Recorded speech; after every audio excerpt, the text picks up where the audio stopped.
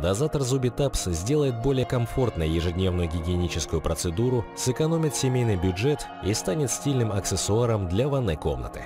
Паста быстро заканчивается из-за чрезмерной дозировки, особенно когда речь идет о детском продукте. Диспенсер с легкостью решит эту проблему. В устройство закрепляется тюбик, и когда вам нужно нанести зубную пасту на щетку, просто надавите ею на педаль. Дозатор ограничивает количество пасты и выдает столько, сколько нужно для чистки зубов.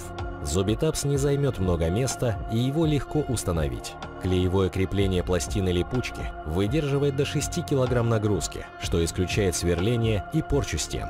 Диспенсером Зубитапс для зубной пасты легко смогут пользоваться как взрослые, так и дети. С его помощью гигиенические процедуры, которые часто не любят малыши, превратятся в забавную игру.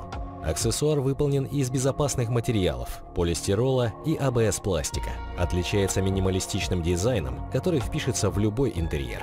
Для работы поместите дозатор зубной пасты в пазы на крепление, установленного ранее на стене.